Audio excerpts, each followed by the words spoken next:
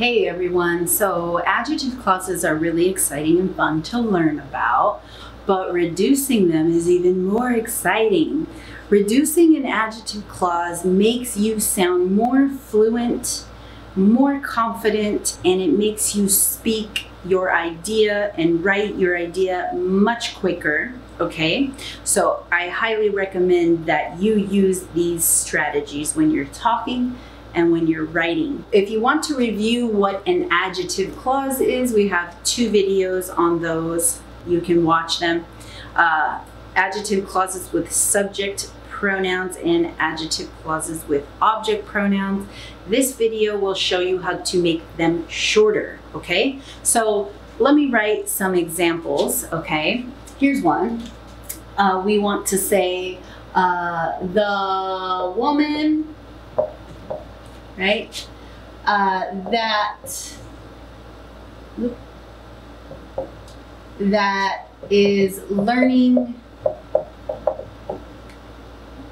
English lives yeah lives near me for example okay well, where's the adjective clause in this sentence? The adjective clause is the clause, right? The subject and verb inside of a clause. Well, it has a subject and verb, and it's acting like an adjective. It's describing a noun. So where is that? Right here. Okay? All of this, okay, is describing the woman. What kind of woman? The woman that's learning English, that's the kind of woman. That's an adjective clause. Adjective clauses, remember, usually start with the words that, who, whom, whose, okay? Which, when, where, okay? Uh, the woman that is learning English lives near me. Let's reduce this. Let's make it shorter. I would not say this sentence. I would say the woman, the woman uh, learning English lives next to me. Okay, so how did I reduce that? First, you look to see if it is a an adjective clause that has the relative pronoun, the pronoun, as the subject or as the object. In this case, this is the subject of this clause. So when it is the subject, and an easy trick to tell if it's the subject is look after it. Is there a verb after it? Yeah, that's a verb. That means that's the subject, okay? Subject verb. So if there is a subject in the uh, adjective clause, and that is the pronoun of that adjective clause, you can take it out, okay? Also, look here when you see the be verb, this is the be verb, you can take it out. So now we have the woman learning English lives near me. This is a reduced adjective clause, okay? Let's look at some more examples.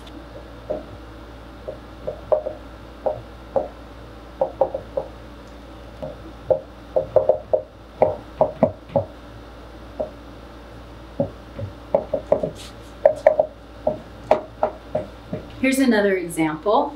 The story which is available online is good. Okay. All right. So the adjective clause is here. This is the part that's describing the story. What kind of story? The one which is available online, that one, okay? So again, do we have the subject pronoun, the pronoun, the relative clause pronoun, is that the subject or the object? Let's see.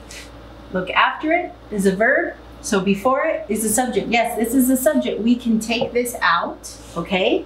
And do you have the be verb here? Yes, we do. You can take that out too. Now I can say the story available online is good. That works. The story available online is good. That's it, okay? Let's look at another example. Okay, here's another example. Let's look at this one. My friend whose dog bites people moved. Where's the adjective clause? The adjective clause is here. Always starts with a relative clause pronoun, right? Who, that, whose, which, right? Whose. My friend whose dog bites people moved. My friend moved. Okay. Can I reduce this one? No, you can't reduce this one. Why? When you see the word whose, never reduce. Never. Can't reduce it.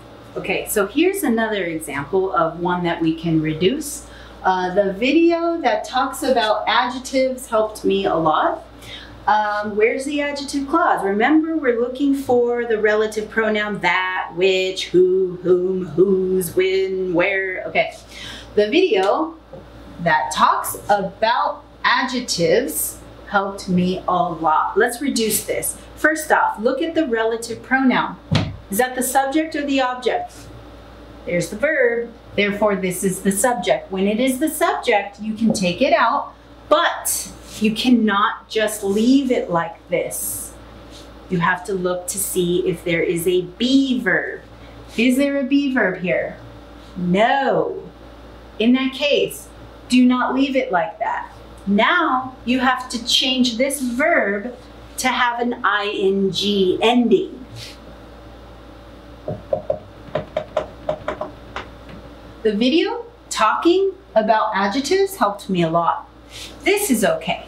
This is how you can reduce an adjective clause that has the subject as the pronoun and no be verb. Okay, here's another example of one that has uh, is similar to the example we just saw. Uh, here is another one. the students who sit in the class are active. Okay.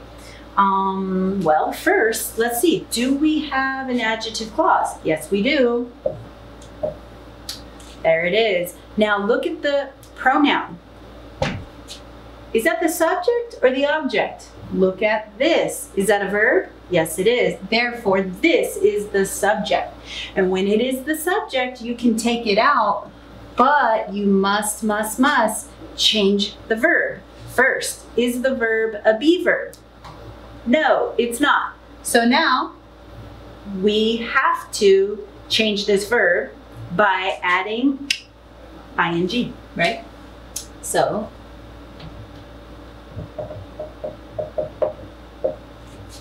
The students sitting in the class are active. Perfect. This is a beautiful reduced adjective clause.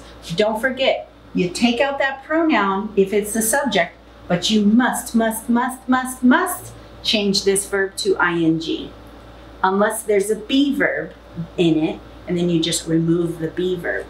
Okay, we've talked a lot about reducing adjective clauses that have um, a relative pronoun as the subject, a subject relative pronoun. Now, let's talk about reducing adjective clauses that have an object relative pronoun.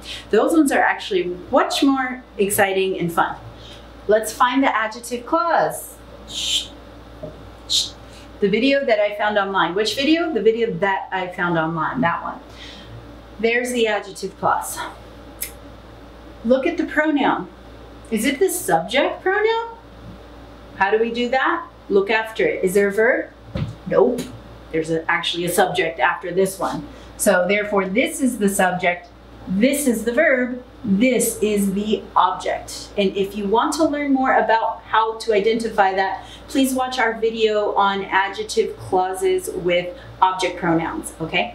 Um, but we can identify this is the subject, right, of the adjective clause. Here's the verb. So this thing is the object, okay? This is the object. So when you have the relative pronoun in the adjective clause as the object, it's beautiful. Boom, boom, just take it out, just take it out. The video I found online helped me a lot. There you go, okay? There's actually a way to do this from very, very formal to less formal, okay? So I'll show you with the next example. Here we have an example of another adjective clause that has an object pronoun. Let's find it. The question that you asked, okay? Here's the adjective clause. Look at the pronoun. Is that the subject? No, here's the subject. And here's the verb. So therefore, this is the object, okay? Now remember, the rule is if it's the object uh, pronoun, just throw it out. But I want to show you how to make this um, go from very formal to less formal, okay? So if you want to be very formal, remember for a question, we can use the word that or which. Those are the words that describe things like questions. So let me put the word which here